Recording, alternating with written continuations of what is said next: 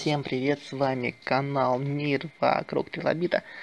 Сегодня у нас с вами рубрика Машины 21 века и у нас на обзоре такой очень интересный представитель российского, да, такого покорителя бездорожья встречаем вездеход Ямал V6M.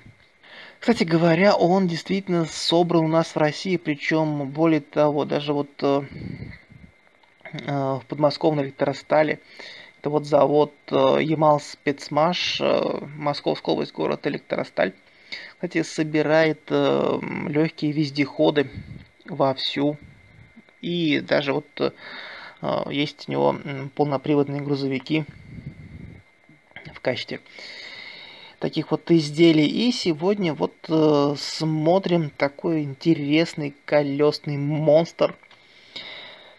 Для чего же он был собран и какие у него перспективы? Разбираемся. Ямал V6M предназначен для передвижения по слабонесущим грунтам, снежной целине и пересеченной местности в условиях отсутствия дорог. Но, собственно, по колесам можно догадаться, что, в общем-то, эта машина сделана не для кольцевой автодороги. Такой грузовичок способен транспортировать до 25 тонн разного рода грузов, включая топливо, водителей и пассажиров. Он, естественно, очень длинный. В сравнении с обычным таким КАМАЗом Э, Ямал В-6М превосходит его по длине практически в полтора раза. Его габаритная длина составляет 16 метров. При этом он шире и выше обычного КАМАЗа. Зато клиренс под ведущими мостами составляет целых 550 миллиметров. Движение машина приводится дизельным двигателем Cummins ASLE C340 мощностью 330 лошадиных сил. Сочетается такой движок с механической коробкой передач ZF, ну или автоматом от того же производителя. В конструкцию включили дополнительную раздаточную коробку для привода среднего и заднего мостов. Она позволяет отключать задний мост для экономии топлива.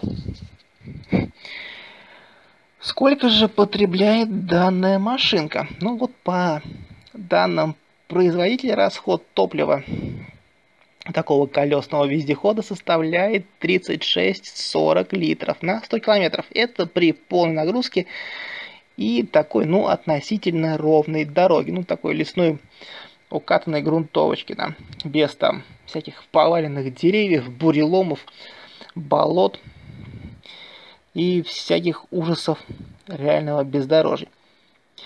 Полная масса такого вездехода может достигать 45 тонн, из них полезная грузоподъемность 25 тонн. Ну, естественно, э, рекомендуется не перегружать машину, а даже вот э, немножко меньше давать груза, чтобы, конечно, не нагружать механизм шарнирных сочленений.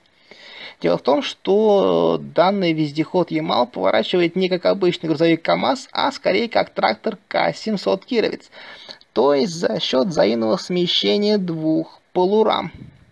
И уже в стандартной комплектации данный вездеход оснащен фронтальной гидравлической лебедкой с тяговым усилием не менее 11 тонн. Она располагается под передним бампером в отдельном корпусе и отлично видна спереди.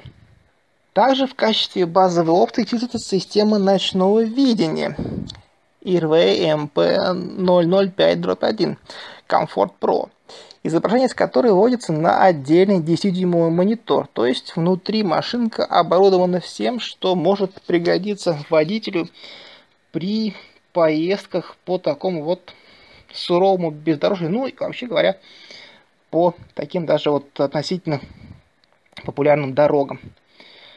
Пока что вот таких э, грузовиков сделано э, ну, мелкая серия таких вот э, прототипов, да, но из пресс-лизов завода в общем-то, не скрывается, что вскоре последуют и другие вариации данных машин, то есть это направление будет развиваться, что, в общем-то, хорошо. Кстати, возможно, будут версии с не столь длинной колесной базе. Возможно, дальше будут э, слегка так э, уменьшены габариты машины. Ну вот э, посмотрим, что мы увидим через год-два. То есть какие последующие разработки поведет с собой вот данный вездеход колесный Ямал V6M. А пока вот такой интересный грузовик-вездеход длинномер из подмосковного города Электросталь был у нас на обзоре. Всем привет, до новых встреч, пока. Не переключайтесь.